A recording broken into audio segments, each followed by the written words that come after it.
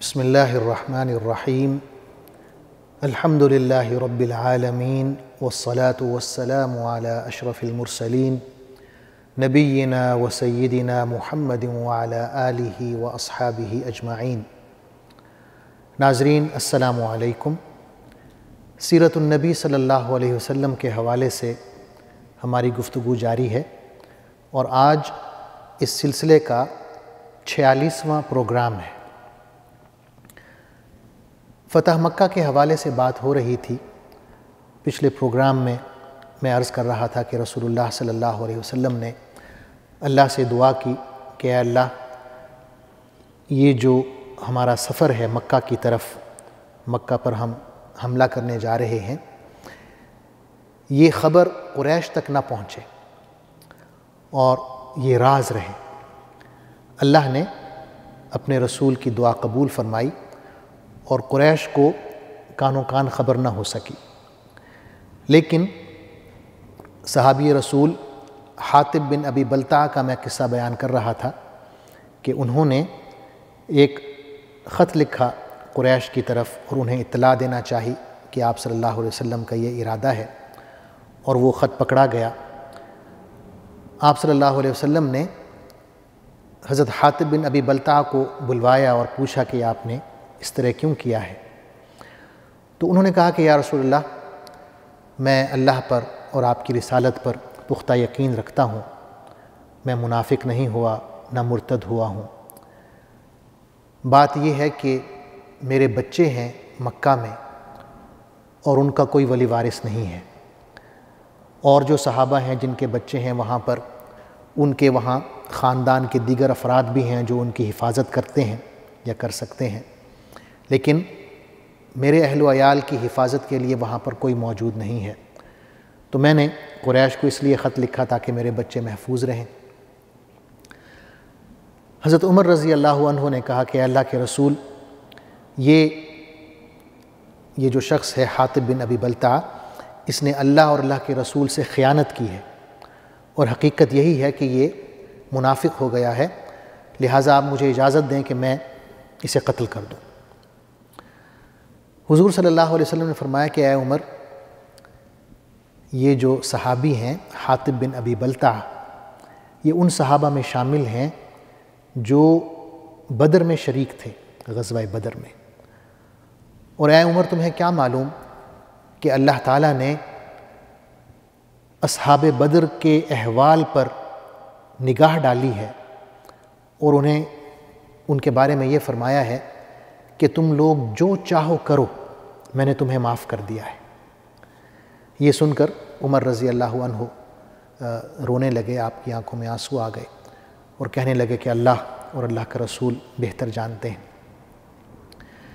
تو جیسا کہ میں نے عرض کیا، آپ صلی اللہ علیہ وسلم کی یہ دعا قبول ہوئی کہ اس سفر کو راز رکھا جائے۔ آپ صلی اللہ علیہ وسلم نے سفر جاری رکھا اور یہ سفر جو ہے رمضان المبارک کے مہینے میں تھا، سن آٹھ ہجری میں آپ صلی اللہ علیہ وسلم سفر کے دوران روزے رکھتے رہے۔ راستے میں ابوا کے مقام پر آپ صلی اللہ علیہ وسلم سے آپ کے چچا زاد، ابو سفیان بن حارث اور آپ کے پھپھی زاد، عبداللہ بن امیہ آ کر ملتے ہیں اور اسلام قبول کرتے ہیں۔ اسی طرح جب آپ صلی اللہ علیہ وسلم جحفہ کے مقام پر پہنچتے ہیں تو وہاں حضرت عباس بن عبد المطلب رضی اللہ عنہ، آپ صلی اللہ علیہ وسلم کے چچا اپنے اہل و عیال کے ساتھ ہجرت کی نیت سے آ رہے ہوتے ہیں اور وہاں آپ صلی اللہ علیہ وسلم سے ملتے ہیں۔ بخاری شریف میں ہے کہ دوران سفر رسول اللہ صلی اللہ علیہ وسلم اور صحابہ کرام روزے رکھتے رہے۔ یہاں تک کہ جب عثفان کے قریب پہنچے، عثفان جو ہے ایک شہر ہے، اب بھی موجود ہے، مکہ سے تقریباً ایک سو کلومیٹر مدینہ کی طرف۔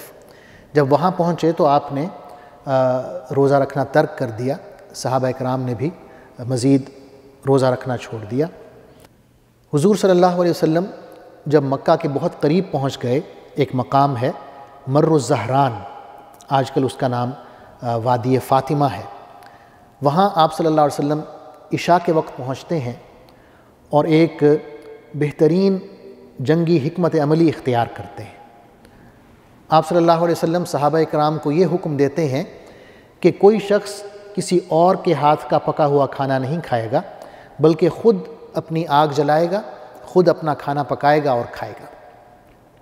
اب صحابہ کرام کی تعداد دس ہزار ہے اور ہر صحابی جو ہیں وہ اپنی آگ خود جلا رہے ہیں۔ اور ظاہر ہے جب آپ آگ جلاتے ہیں تو دوسرے شخص سے ذرا ہٹ کے، ذرا فاصلے پر جلاتے ہیں۔ تو ایک بہت طویل اور وسیع و عریض ایریا کور ہو گیا، جس میں دور سے مکہ والوں کو نظر آ رہا تھا کہ بہت زیادہ آگ کے علاؤ روشن ہے۔ اور ایک نفسیاتی حربہ تھا، انہیں یوں لگا کہ ایک بہت کثیر تعداد میں فوج وہاں پر موجود ہے۔ اسی دوران حضور صلی اللہ علیہ وسلم کے چچا حضرت عباس رضی اللہ عنہ، آپ صلی اللہ علیہ وسلم کا خچر لیتے ہیں جو سفید رنگ کا ہے، اور اس پر سوار ہو کے لشکر سے باہر آتے ہیں۔ آپ کے ذہن میں یہ ہے کہ کوئی مکے سے کوئی شخص ہمیں ملے تو میں اس سے کہوں کہ آپ حضور صلی اللہ علیہ وسلم سے ملیں اور مکہ والوں کے لیے امان حاصل کریں۔ تو ان کی ملاقات ابو سفیان سے ہو جاتی ہے۔ ابو سفیان کے ساتھ ایک اور شخص ہے، حکیم بن حزام۔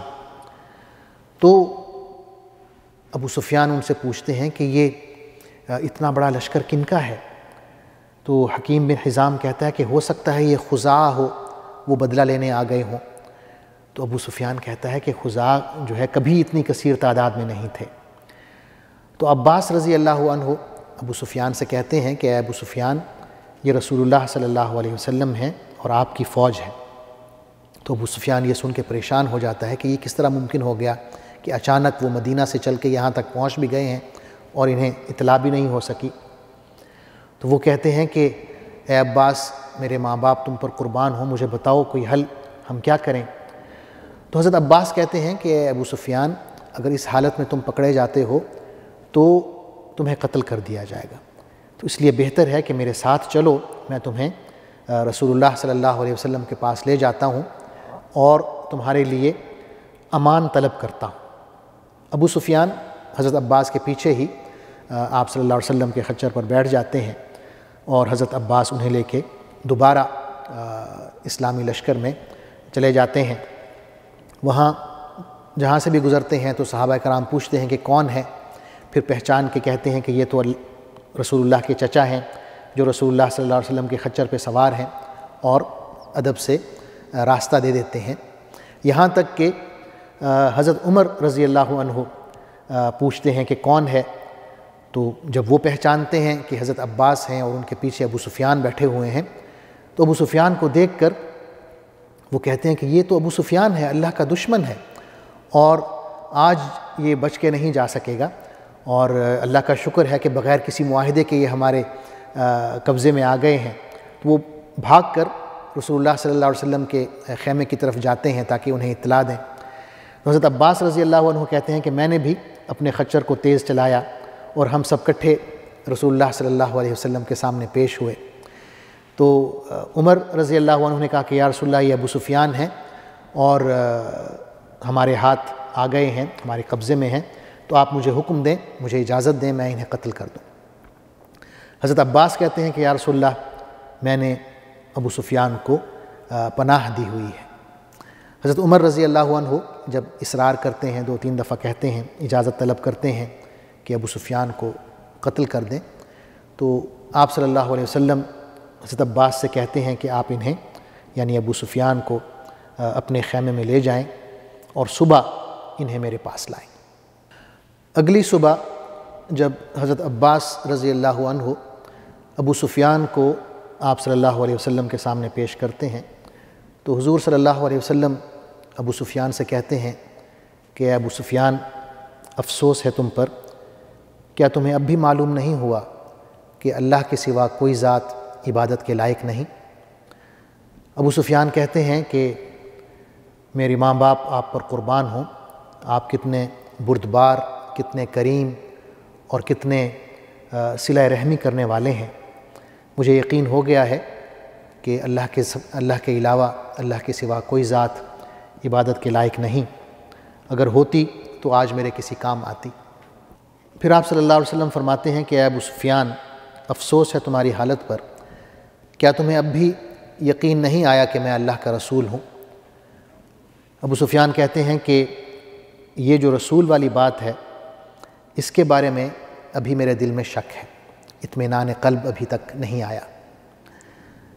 اس پر حضرت عباس رضی اللہ عنہ کہتے ہیں کہ اے ابو سفیان، تم پر افسوس ہو، تمہارے لیے بہتر ہے کہ اسلام قبول کر لو، اللہ کی وحدانیت پر اور محمد صلی اللہ علیہ وسلم کی رسالت پر ایمان لے آؤ، قبل اس کے کہ تمہاری گردن مار دی جائے۔